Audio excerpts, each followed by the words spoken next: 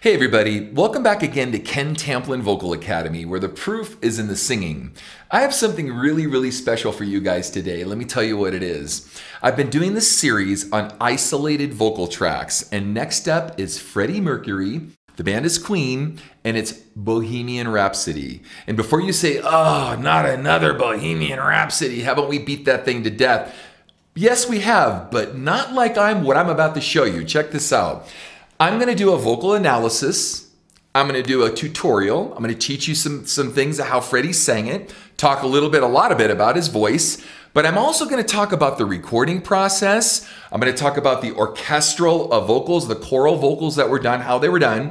And I've even done some recording myself, and I'm going to take the pieces, the instrumental track, the isolated vocal track, and the background vocal tracks that I've created personally. And I'm gonna show you how these were all put together so we can put some flesh and blood on this and actually take a look at one of the most iconic songs, maybe the greatest rock song of all time, and how it was done. So before we get started, if you wouldn't mind, please like and subscribe to my channel. That'd be really cool. Uh, I have a singing course. The course is called How to Sing Better Than Anyone Else. You can find it right here at kentamplinvocalacademy.com. I also have a free singing forum over there for you guys interested in singing. If you want to learn how to sing, if you're already an advanced singer and everything in between, you can bip on over there. There's 20,000 people over there negotiate, negotiating all these different styles and techniques on how to get to become a great singer, uh, not the least of which we're going to talk about, which is Freddie Mercury. Now, a little backstory on me quickly and this song. So um, I was known as the go-to guy in Hollywood, California. Uh, you can go to imdb.com and put in my name and you can see not all, but quite a few of the TV shows I've worked on. Everything from Baywatch, X-Files, Ace Ventura, you name it. I've worked on a lot of shows, but I was the go-to guy to do something what are called takedowns. What is a takedown? Takedown is when they want a piece of music that's in the likeness of, which by the way is a legal term, so they don't get sued for something that says, I want to sound exactly like this. Can you make a copy uh, of this song because the publishing and the license for the mechanical or the, uh, the instrumental track is too expensive? Let's say it's a million bucks. Like for this song, it's probably more than a million dollars, right? Can you make a replica of this exactly like it? And I was known for doing that. So um, I've got, in fact, a lot of people say, how do your music beds sound so good? Well, a lot of them are because that's my background. So you can you can do this. So when we do this, no one has the access to this, and I'm not sure of any very many people that can give you the information I'm about to give you. So I know I should just shut up, but I wanted to give you that little caveat in the background of how I got to be able to do all this stuff. So let's do this again. I'm going to do a solo vocal version. We're going to play. It's not solo all the way. There's some harmonies on it. I couldn't quite get the only solo thing. I have the solo instrumental version, and then I'm going to add my own background vocals, and we're going to talk about how this was all this was done. So I'm gonna get started right away. We're just gonna play it. We'll talk about it as we go. Here we go. Is this the real life? Is this just fantasy? Caught in a landslide, no escape from reality.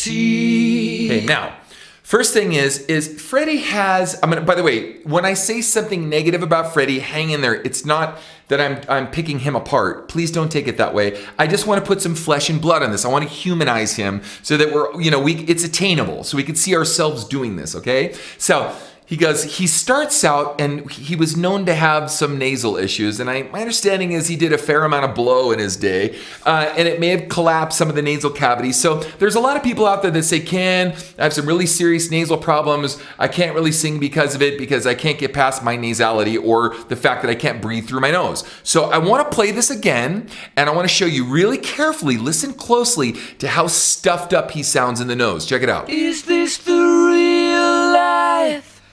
Is this just fantasy? Caught in a landslide, no escape from reality. Okay, now, if I were to go, is this the real life? Is this just fantasy? Caught in a landslide, oh, escape from reality. Right? That's kind of how he sounds. It's almost completely clogged, but he was able to, to you know, man up and, and maneuver his way through that. And by doing so, it kind of gave him his own style. And he wasn't always that stuffed up, but here we are, one of the most epic songs he's ever done, and he's really stuffed up in the sound. Now, at the end, Escape from Reality, you can hear that the pitch isn't that exact. Now, I suspect, now the producer, his name is Roy Thomas Baker, and he was just an amazing guy. And my understanding is, is that when Freddie did this song, that it was three songs that he had worked on kind of his whole life up to that point. When he was really young, like early teens or mid teens, and then he had another completely different song that he was writing and da da da. And he couldn't quite put all the, the pieces together to ever finish those songs. So he got together with Roy Thomas Baker and the band, and they put those three songs he could never complete into one song. Now, let that be a lesson to all of us to go, ah, there's a song, I love my song, I wrote it, but I can't find the chorus. Or there's a, ah, I got a chorus for this, but I can't find the verse. Or, you know, I just can't put this all together. Well, so Freddie massaged this to the point he was able to connect all of this in one of the most amazing rock opera ballads or ballad slash rock songs of all time. Now, I want you to listen back to the pitch. We're going to do this one more time. I'm not going to, you know, beat this up too much, but listen to Escape from Reality, and you can hear it's it's not that spot on. But I suspect the, the producer Roy Thomas Baker was like, "There's so much emotion, there's so much passion."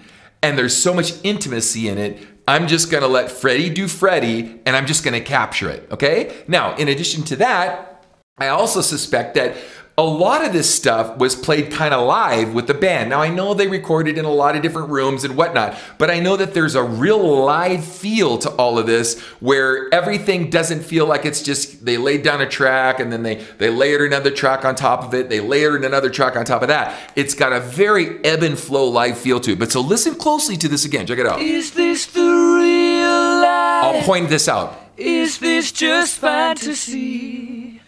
Caught in a landslide. No escape from reality. Listen to the word from. No escape from reality. From reality, right? There's a little bit of pitchiness there. Now, you wouldn't notice this if you're, you know, it's such an epic piece. We forgive everybody for stuff. No one's expecting to be perfect. But as we go through this, one of the things I like most about this tune and a lot of the stuff that happened in this era is that um, they're going to use something called a mellotron. And what a mellotron is, is it's this unit way back in the 70s that reproduced choral effects, specifically for vocals, okay?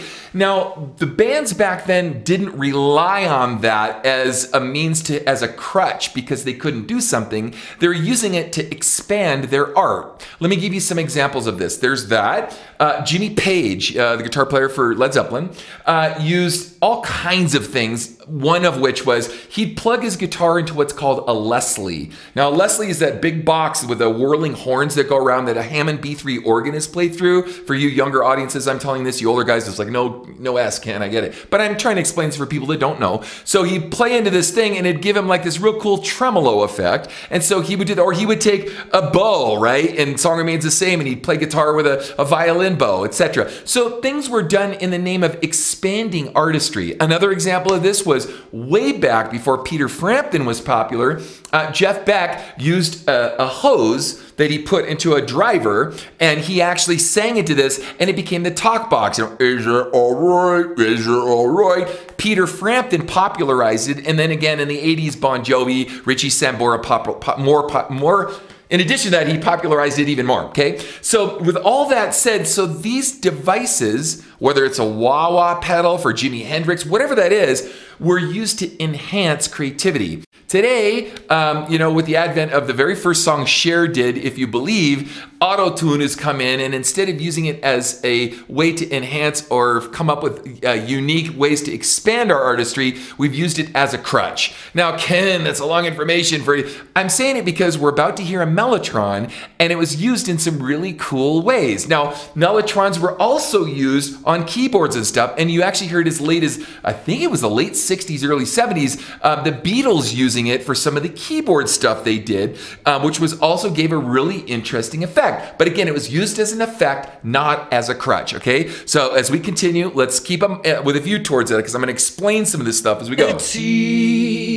Open your eyes, look up to the skies and see.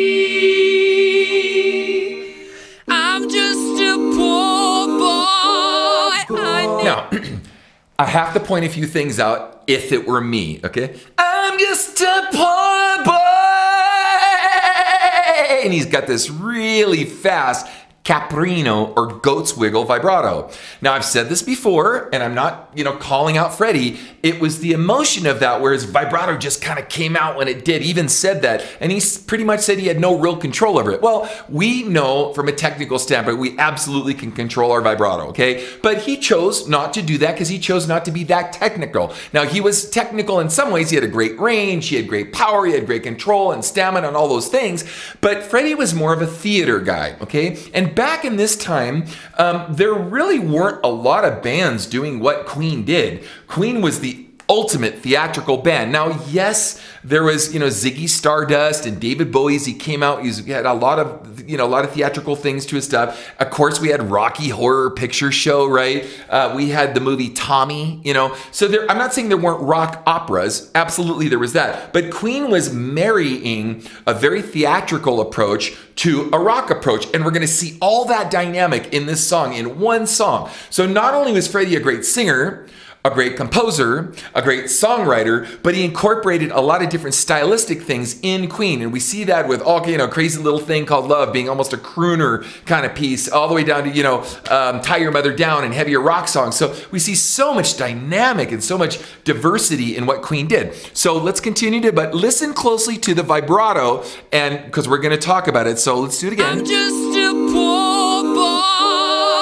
Boy, boy, boy, right? It's not very controlled. I need no sympathy. Now, sympathy, right? He didn't use autotune, so sympathy is a little flat. You'd never know that in the track, and we're gonna do this in a minute. We're gonna see how the track can cover a multitude of sin, but it also, again, it's it's these carbuncles that makes it real, it makes it believable, which it is, it makes it approachable, it puts some flesh and blood on Freddie and the humanity. You know, yes, uh, you know, he was a legend that's pretty much untouchable for his creativity and ingenuity, but there is also a part that he was human. And we can take that and we can see ourselves going, well, gosh, I could see myself doing that. I, I can sing some Freddie. You know, Marc Martel did a fabulous job of this. You guys know who that is. I mean, he should be the one talking about Freddie, not me, but I'm doing a composition of everything from the takedown of the bands and the singing and so forth. But I want you to know, and, and he had a good command of his of his diaphragm too, so you can hear the strength in the sound. It's not all in his throat. Let's listen one more time. I need no sympathy. Sympathy. Easy come, easy go. Little high, little low. Any way the wind blows doesn't really matter to me. To me. Very dramatic. To me. You gotta plug up your nose. To me. Right? You can really hear some nasality or stuffiness in his nose. So check it out. Mama, just Now you hear the mama. He trails off the end a little flat, right? But again, it's also emotional. So it's kind of like it's like I'm just gonna wear my heart out on my sleeve and I'm just gonna let the, my heart tell the story. I'm not so worried about it. I just got to get the emotion and the story across, and we certainly hear that. Check it out. Mama just killed a man, put a gun against his head, pulled my trigger, now he's dead. Now, we talk a lot about mixed voice, and Freddie's showing off a lot of that. Mama just killed a man, put a gun against his head, pulled my trigger, now he's dead. You can hear on the ends of some of these phrases, he's mixing. It's not just chest, it's not just head. He's mixing in between the two to give you some flavor, some velvety tone in his voice and be real emotional on the sound. So that's pretty stinking cool. Put a gun against his head, pulled my trigger, now he's dead. Hear that? Mama, life had just begun, but now I've gone and thrown it all away. Now, on Just Begun, you can kind of hear his voice crack just a little bit. So I'm thinking to myself, Roy, why did you leave all this stuff in? I suspect that when you're in the moment and you're singing something. And and we see this especially in earlier music, you know, 60s music, 70s music, and actually, you know, even even Motown stuff and before, you know, early jazz stuff, right? Pre doo-wop, you know, early early jazz stuff, whether it's Billie Holiday or, you know, whatever, Ella Fitzgerald, we hear uh, little carbuncles here and there.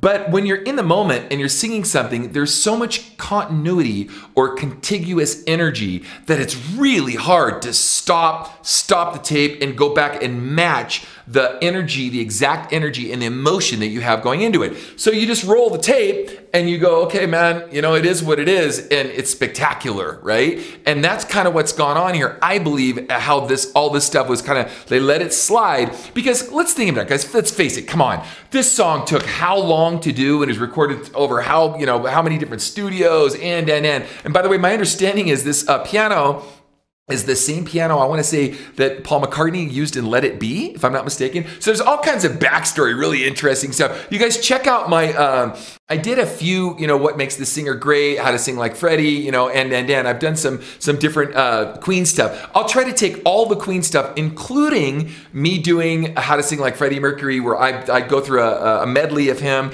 and other students doing that. I'll try to put all the Queen stuff in the description. You can kind of pick it apart yourself. But anyway, so um, yeah, so just really interesting how Roy Thomas Baker let all this nuance, you know, kind of carbuncly stuff or or mistakes, so to speak, kind of go by, and you don't really hear it in the track because he was more concerned, I think, about the the motion, the passion, the story, everything that was got, the production and everything that went with it. Okay? Begun, but now I've gone and thrown it all away. Now on now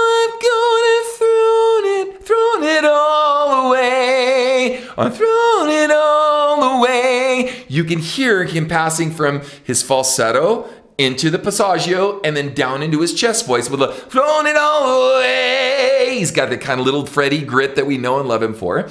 Um, but I want to talk about head voice stuff real quick.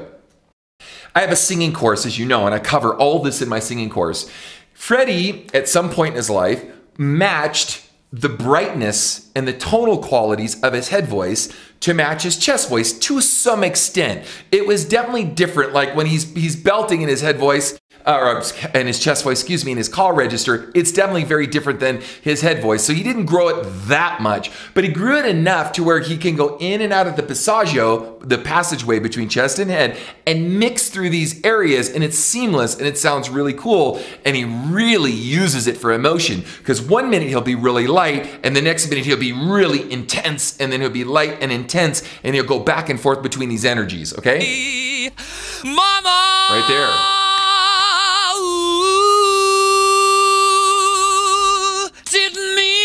Now you can hear a punch there. Didn't mean. So it wasn't contiguous. So they had to kind of come back and go, okay, stop there. Let's go back, cut the tape, and, and punch it like it. Mama. By the way, on the word mama, you hear the end of mama. You hear the little break in his, his voice. He, he cracked a little bit, right? But they left it in. Listen. Hear that? Let's do it back. Mama.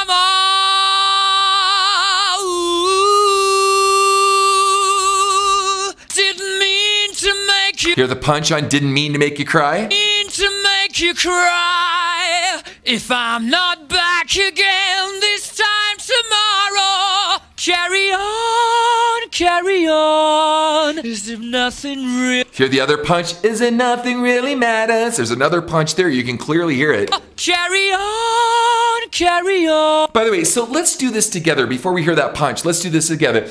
Carry on, carry on. There's nothing really matters, right? I want you to play with it. Ah,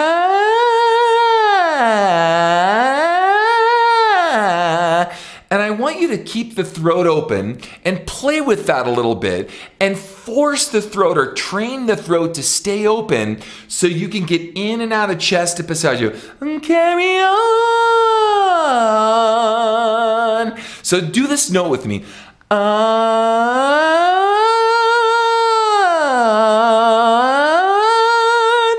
And see if you can do it without hearing the break. Uh, uh, See if you can do without hearing the chirp, what I call the speed bump. And I teach you guys in my singing course exactly how to do this so you can seamlessly get in and out of chest. Do it with me again. You guys, you music or singing lovers out there, lovers of Freddie's voice who want to learn how to do this.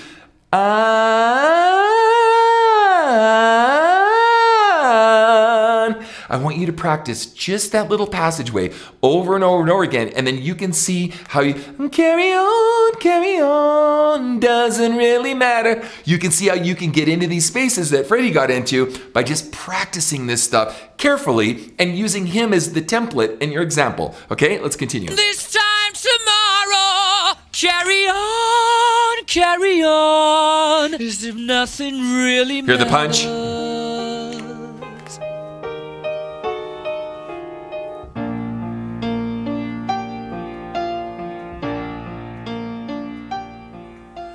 Too late. Now, I have to say one more thing. Okay, so here we are. To me, up till now, maybe not quite to the end of where we left off, but that was basically all an intro.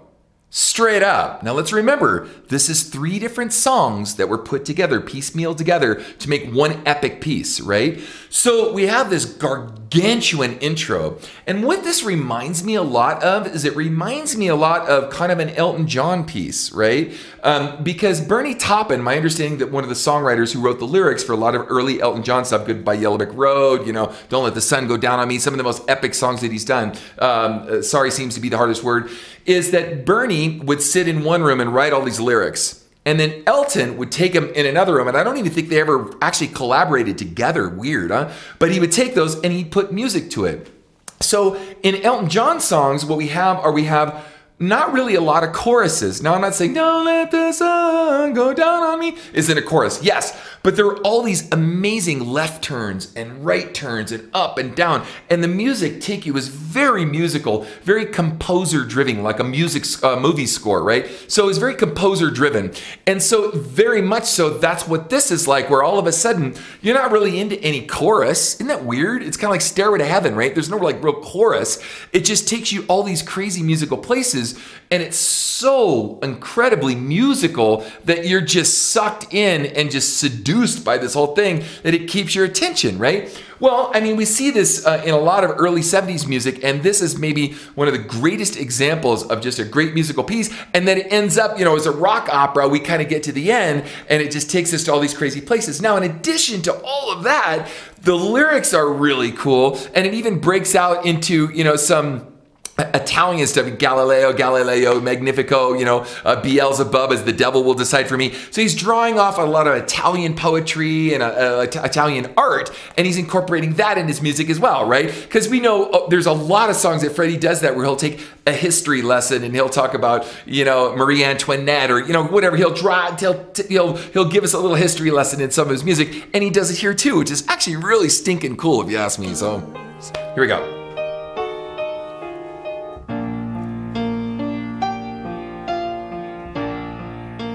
So kind of like uh, this is a reprise or a repeat of the whole beginning. Here we go. Too late. My time has come. Now, do you hear that? He's mixing. Too late. My time has come. You're add the air. Well, the air is actually kind of going into a mixed voice. It's not just air. You can hear him tapering off of his actual chest resonance sound in the mixed voice. Listen closely. Too late. My time has come. You're that? Sends shivers down my spine. Body's aching all the time. Now on Sends Shivers Down My Spine, you can hear his overbite. We all know he had an overbite, and he compensated really well for that. But you can hear that overbite. So, you know, this guy had a lot of uh, you know, handicaps, let's call them, to work through. Some nasal issues, the overbite, you know, and all these different things. And yet we don't notice any of that because he was just, oh, by the way, did I forget to tell you like how amazing of a live performer he was? So he not only had all this working for him. He wasn't sitting cowering over in a piano in a corner. He had the audience eating out of the palm of his hand. So he's also an extraordinary entertainer in addition to all these other gifts that he had. And he had to earn that, man. He earned that along the way. This wasn't just given to him. You could tell all this stuff didn't fall in his lap, man. The dude knew his craft and he knew it well and he honed it in and worked hard on it. Goodbye, everybody. I've got to go. Gotta leave you all behind and face the truth. Did you hear the punch on Gotta Leave You All Behind? Listen close. Goodbye, everybody. I've got to go. Gotta leave you all behind and face the truth. Hear the wiggly vibrato. Truth, right? Instability in the vibrato. Now, a lot of that too is because of command of a consistency of strength in the abdomen. Face the truth. He could have done that, but he didn't. He go, truth, right? He had a kind of a wiggly caprino vibrato. Now, the other thing that I find really interesting is I didn't mention this before because I didn't want to get too caught up on it early on. But go back and listen to this, and you're going to notice what are called plosives. And we've talked about this before. And what that is, is usually on P's and B's and T's, you hear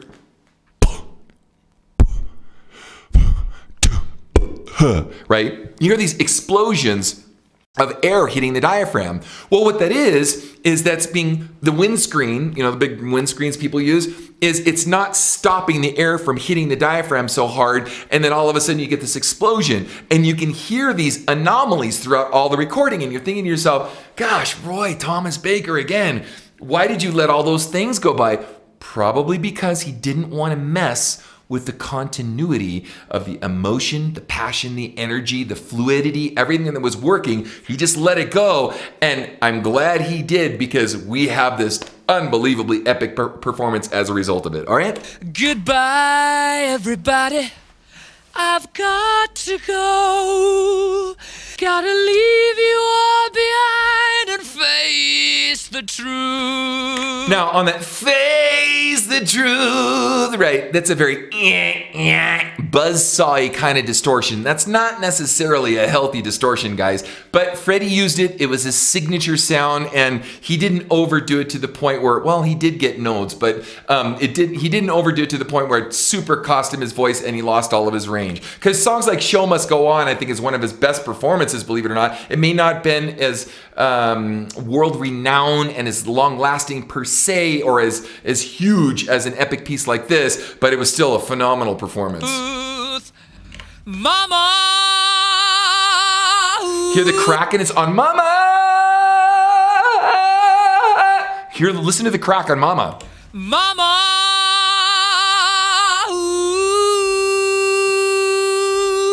Now, again, I'm not looking to air Freddie's dirty laundry in front of everybody. I hopefully have praised him enough to show you how much I love Freddie and have absolute utmost respect and admiration for almost everything he's done. But I want to show you guys and put again some flesh and blood on this and humanize this and make it attainable to show you this is doable. This is doable. Now, there's only going to be one Freddie. I get that and absolutely I agree with that. But I also want to show you to put some humanity on it so we could see, wow, so he was like, you know, a, a, a god, small g, you know, in the music world, but he also had to earn it and he wasn't perfect. But it's kind of like someone that is just trying really hard. You're going, you know, he may not be perfect. Like there's great soccer players out there that they may miss a ball here and there. But Lionel Messi, man, when you look at his whole game and his whole life and his whole career, and whatever your favorite soccer player is or whatever your favorite idol is, you look at him and go, you know, how interesting. It was all the times that he made the mistakes and overcame the mistakes that's what made him great at what he became and did ultimately. Let me say that again. It's overcoming and getting past and getting through all those mistakes. You got to wonder, ask yourself the question, how many times did he fail at this going growing up in life and practicing and practicing and practicing? We're pointing out the minutia of the small little you know details of, of him him not maybe not uh, missing a mark a little bit here and there, uh, but it's so overshadowed by his greatness we don't even think about it. But I think it's interesting that he had to go through the growth process, the pains of growing through that in order to get to what he became. Okay, I don't wanna die. you're on die. Sometimes I don't wanna die. right? Listen. I don't wanna die. I sometimes wish I'd never been born at all. Let me get past this big solo here. Here we go. I see a silhouette coming up. I see a little silhouette of a man. Scaramouche, Scaramouche, will you do the fandango? Thunderbolt and lightning, very, very frightening me. Now, ooh, um, we go from this, the ballad of, you know, Freddie, okay, the beginning of this whole thing, the ode to Freddie, so to speak. And then we get to this other piece, and all of a sudden it shifts gear and it goes into this like operatic choral thing where you can literally, and we're going to go through this in a minute when I'm going to do a takedown and we're going to do the isolated vocal, then I'm going to do my background vocals, and then we're going to add the instrumental track and put all these pieces together. You're going to go, oh my gosh. Then all of a sudden he's entering like the world of opera and he's piecing together an opera for you in the middle of all this stuff and then he's gonna he's gonna rock it at the end right? So he's uh, he's showing you his influences how deep they run and him reproducing these influences in the coolest kinds of ways. So you're now we're getting to peer into freddie's operatic influences. Check it out and theater and operatic influences I see a little silhouette of a man. Scaramouche, Scaramouche, will you do the fandango? Thunderbolt and lightning, very, very frightening me. Galileo, Galileo, Galileo Figaro. Magnifico! Okay, now we talked about the Mellotron. Okay, you're hearing that here, and I don't want to overstate it now because I'm going to talk about it more in a minute. But I wanted to point out that there's a, there's another aspect where he's taking technology and it's, he could have reproduced this without using technology it would have been easy for him for the band to sing all this stuff but he chose not to because he was trying to make it a little more modern so he's he's not only taking old school stuff and putting it all together but he's contemporizing it for the time that he was in which is also really cool Galileo, Galileo, Galileo Figaro. Magnifico! I'm just a poor boy, nobody loves me. He's just a poor boy from a poor family. Spare him his life from this monstrosity. By the way, I like the British accents to it. I tried to do that a little bit on my background vocals to authenticate it a little bit more because the guys are all British. So you get this kind of British, white British opera kind of thing going on here too, which I think is pretty cool. Life from this monstrosity. Monstrosity. Easy come, easy go, will you let me go? Bismillah. No, we will not let you go. Let him go. Bismillah. We will not let you go. Let him go. Bismillah. We will not let you go. Let me go. Now, uh, we were talking about drawing from some Italian classical stuff. So you've got uh, Scaramouche, right? Fandango, Thunderbolt, Galileo, right? He's using all these Italian references, you know, Beelzebub, right? So you're going through and he's kind of, you know, letting letting us see all this really, really cool stuff that um, we probably wouldn't have normally picked out had we not really known the lyrics so well, or he kind of stuffs it in our face to say, here, I'm giving you a little history lesson here and I'm adding some kind of fun stuff to this. Let me go. Let you go. Let me go. Let you go. Mamma mia, mamma mia. Mamma mia, let me go. Beelzebub has a devil put aside for me, for me, for me. Now, so here we have this epic, epic buildup. Oh my gosh, you know, right? I remember seeing this on Don Kirshner's rock concert where they showed all this stuff, and as a kid, I'm just going, wow, this is just like how do you get that good? Like how do you take all these influences and put them all together and make them work rather than just sounding like a train wreck right? But anyway so we this whole beginning I'm, my understanding is that's the first two songs that he wrote that he meshed together with roy thomas baker and the band and then it moves into the rock part that consummates it and brings it all together and then he caps it all off at the very end going all the way back to the first song reprising it at the end to make it all continuous and all you know a, puts a cap and some closure on it. By the way, Brian May is one of my all-time favorite guitar players. He's not, you know, Steve Lukather with chops in that sense, or you know, Steve Vai or Paul Gilbert or you know whatever Joe Satriani. He's not that kind of guitar player, but his phrasing the way his notes, his melodic structures, uh, and the way he did all of his choral guitars and his tone and everything was just so perfect for Queen to fit in this theater, choral, operatic, rock opera kind of thing. It could have been more perfect, right? So you think you can stop? I got to do the Garth. You're right. I got to do that part. You guys remember the scene where they're going to Las Vegas? me spin in my.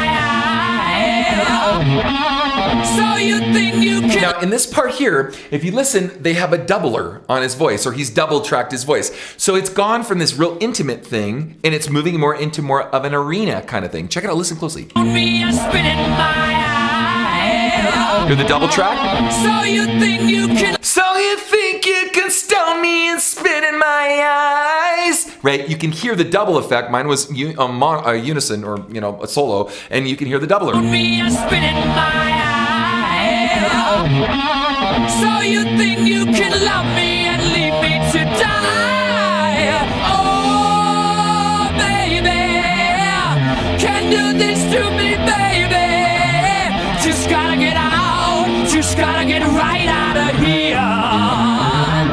Now, on on the- on the other version, I think there's more vocals on this, so I, I don't know like I don't know how much background they actually added to this and how much doubler they add. You know, we get these tracks, and who knows what was actually really on the recording. I do know that there's virtually no reverbs on any of this, and I know for a fact they did use reverbs on the track. So you know, we're, we're hearing at least a lot of this without some of the reverbs, and I'm going to explain some of that too as, as I talk about the panning of all the background vocals, how that creates imaging, so like you can actually see the voices, and some of her in the center, some of are pan. But I'll talk about that in a minute.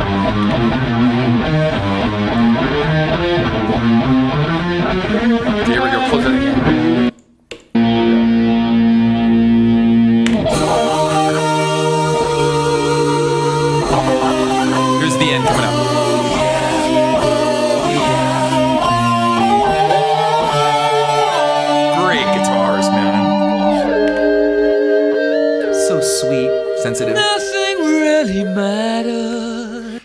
Notice again the nasality, and he reprises the beginning to remind you of how the song started.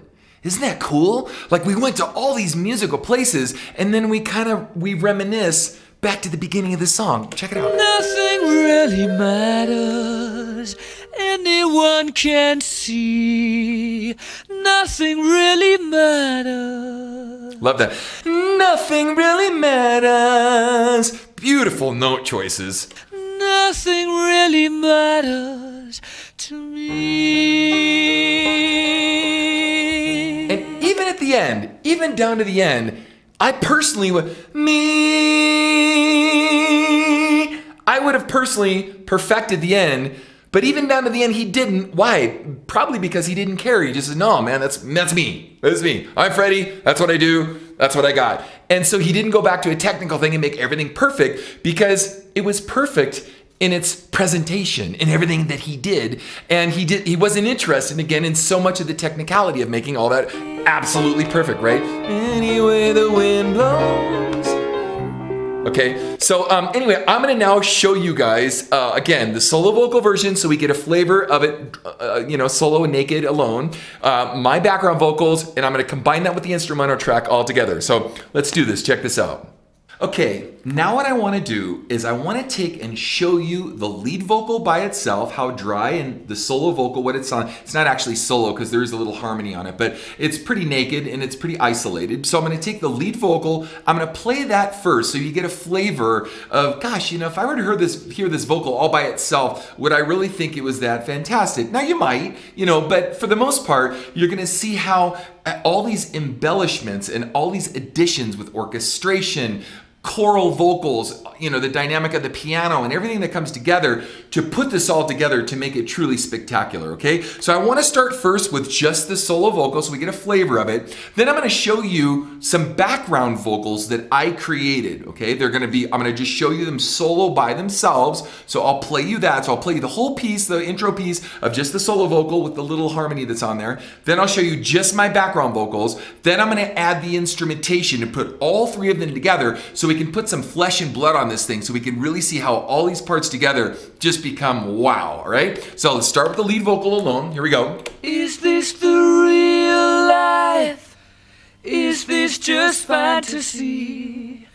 Caught in a landslide, no escape from reality.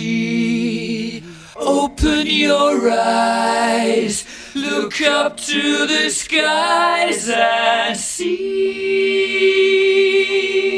Okay, cool. Now that's the lead vocal. Here are the background vocals that I created, right? Check this out. These are just the isolated background vocals. Check it out. Is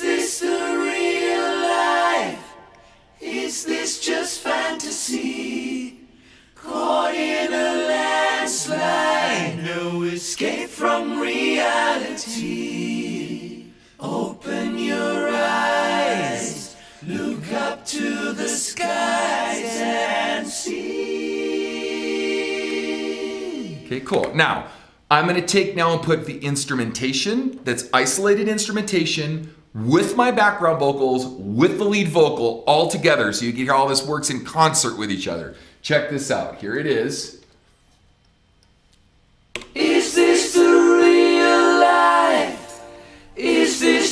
fantasy?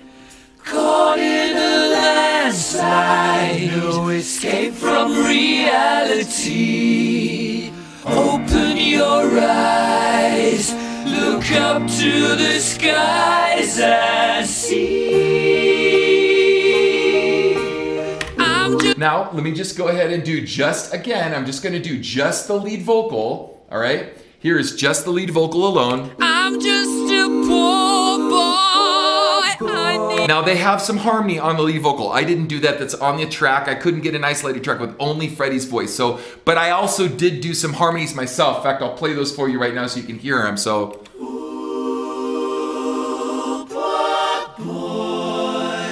okay, so I did those by myself, and I'm going to add those to the track because that is in the original track. There's a lot of extra choral stuff. So let's listen to it again with just the solo vocal. I'm just a poor boy. I need no sympathy. Because I'm easy come, easy go, little high, little low. Now, let me play it with just my background vocals with his vocals. So you can check this out. I'm just a poor boy. I need no sympathy. Because I'm easy come, easy go, little high, little low. Now let me play it with the track so that everything is working together in concert. Check it this out. I'm just a poor boy. I need no sympathy. Because I'm easy come, easy go, little high, little low. Anyway, the wind blows doesn't really matter. Now let's play just the solo vocal alone. Here it is. Check it out. Anyway, the wind blows doesn't really matter to me. Now there's quite a few vocals on that, that solo vocal track. So if you heard the track by itself, I don't think you'd be as wowed. I'm wowed just because it's Freddie and it's cool. The arrangements are amazing, right? But here's with my here's with my choral of vocals behind it. Check it out. Here we go. Here's here's the the chorals that I've added. Anyway, the wind blows doesn't really matter to me. To me. Okay, now here's with the instrumentation, the whole thing all together. Anyway, the wind blows doesn't really matter to me. To me. Okay, here we go. We're gonna just go back to the solo vocal again. Mama just killed a man. Now I'm gonna get to Put more of the choral stuff here. So. I'm gonna fast forward all the way up to where there's more. Whoops, sorry, where there's more orchestration. So hold on, right here. So check this out, It's the truth. right here. Mama.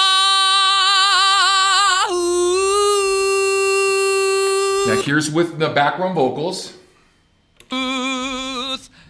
Mama. ooh, I don't wanna die. I sometimes wish I'd Okay, now let's add the, the instrumental track to it so you see it's like, wow, it's just like, it like wakes it up. Know, it's like, whoa, it wakes it up and it wakes it up more, wakes it up more. It becomes more and more exciting as you hear all these parts working together. Here's with the track.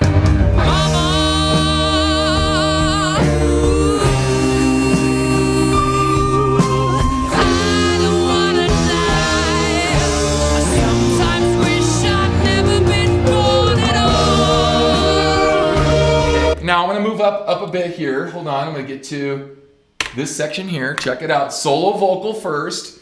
And I hope you guys are liking this as much as I am because I'm having a good time showing you how this is all broken down and how all these parts fit together. Again, back in my film and TV era where I'd have to take do takedowns and break down how they did all this stuff, to me it's pretty The fascinating. So- silhouette of a man. Scaramouche, Scaramouche, will you do the fandango? Thunderbolt and lightning, very, very frightening me. Galileo, Galileo, Galileo Figaro. Magnifico! Now, it's not really fair because they do have a ton of background vocals on this, but let me show you just my background vocal track so you can hear this. Check this out. All right, here we go.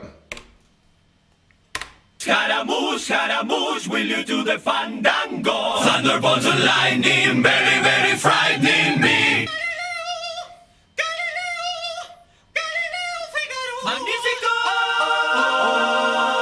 Okay, now of course I go through the whole thing, right? And notice the panning of it too. I got the panning exactly like the original too, because it makes a big difference because you don't know that you're hearing things coming like watching a choir. Like I said, you're watching all this different uh, imagery of a choir. Now let me add the lead vocal and the backgrounds together only without the instrumentation. Check it out. Man. Scaramouche, Scaramouche, will you do the fandango? Thunderbolts and lightning, very, very frightening me.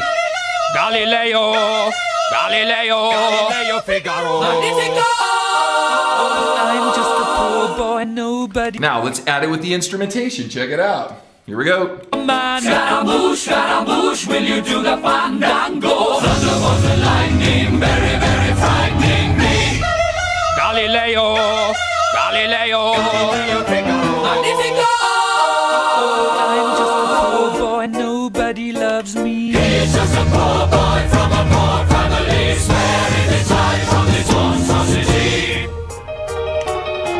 Easy come, easy go, will you let me go? Bismillah. Now let's do this together. Let's just check out just the lead vocal. I know there's some backgrounds on it, but Easy come, easy go, will you let me go? Bismillah. No, we will not let you go. Let him go. Bismillah. now someone added a, a good chunk of those backgrounds. Let me add my backgrounds to those so you could hear it together. Check it out. Easy come, easy go, will you let me go? Bismillah. No, we will not let you go. Let him go.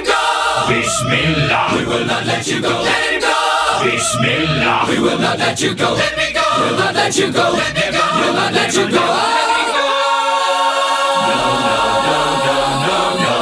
Mamma mia, mamma mia. Mamma mia, let me go. Now let's play with the instrumentation and check this out. See how all this works together. Pretty cool how these parts fit together. Bismillah. No, we will not